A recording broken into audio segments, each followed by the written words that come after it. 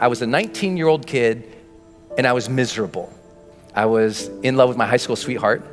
We were that couple that was really annoying. So we went to school together. We signed up for classes together. We shared a U-Haul on the way to school together. We lived in the same dorm together. We walked to class. We walked to breakfast in the morning and walked to class together. I mean, we were just joined at the hip and we were completely crazy infatuated in love.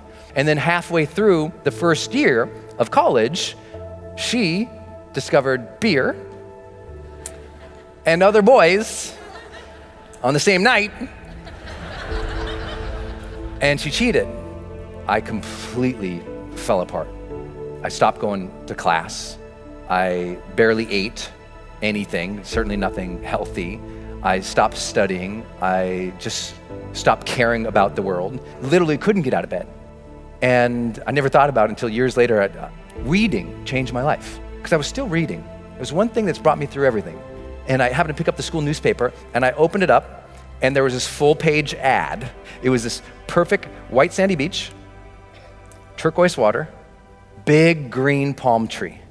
And across the top of the ad, it said, Escape. Students needed for summertime jobs in the Dominican Republic. So I escaped. I went down there, and one night, my friend Kevin and I, we hopped into a car after uh, dropping off a client. So we're going down this road 85 miles an hour in this car, and the windows were open, and that air was coming in. That amazing humid, if you've been in the Caribbean, that just gorgeous, amazing humid air is coming in. And then we came upon a corner. We take that corner 85 miles an hour, and that corner became the turning point that put my feet on this stage for you today. Kevin grabs the wheel, he goes, Hold on! And I brace and the car starts sliding sideways. And that weird slow motion thing happens. Kevin's gripping the wheel, trying to make the corner, and all of a sudden, smack. When I came to, I looked over, and Kevin is screaming at the top of his lungs, Get out of the car, Brendon, get out of the car. And I look over, and a whole big chunk of his head is open. So I pull myself out of the windshield of this car, and he's screaming over here, and I stand up eventually on the hood of the car, and I look and I notice all this blood on me. And I remember just looking down and that slow motion thing's happening. I just thought, did I even matter? And I start seeing all these images of my life when I'm surrounded by people that I care for. There's a cake in front of me. Here's my friends singing, my mom leading them in that goofy song. There's my sister just swinging and smiling right next to me. And it makes you wonder did I love? Did I love openly and honestly and completely? Or did I hold back because that one time I got hurt? And just as I was about to pass out, I noticed a, a glint, like a, a sparkle, something shiny, a reflection in the blood going off the hood of the car, and it made me look up. And there was this bright, big, beautiful moon that night. And I just immediately felt this connection if like I knew I was going to be okay. And I felt like the big guy upstairs reached down to me and handed me life's golden ticket.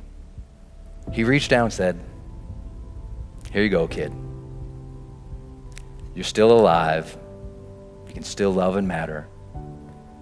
But now you know the clock is ticking mortality motivation. I got it as a 19 year old kid. People say, Why are you so successful? I'm like, I got mortality motivation when I was 19. That's a blessing. Most people don't get that till they're 60. Don't worry, Kevin and I, we both survived. See, I'm still here. it's okay. I made it. But the one thing that I took away from that entire thing was that moment and those questions, because I remembered them. And I thought about them as I was healing. I was like, what was that about? Why did I feel so unhappy with that moment because I thought, you know, in the last moments of life, there must be this transcendence, and I was not happy. And I realized it was because of how I'd been living my life, and I wasn't living to my questions. I knew I got those questions. Did I live? Did I love? Did I matter? And soon as I got that those were the questions I'm going to evaluate myself with at the end of the life, it gave me the power of what my late mentor Wayne Dyer taught the power of intention. That breath you just took, feel it. What a blessing that is, you got that life. What a blessing is you got that breath. That means you still got something inside. You got to work for it. You got to contribute for it. You got to give for it. You got to lead for it. You got to love for it because you still have something not just in you, you're still here for a reason. And now you just got to earn that blessing.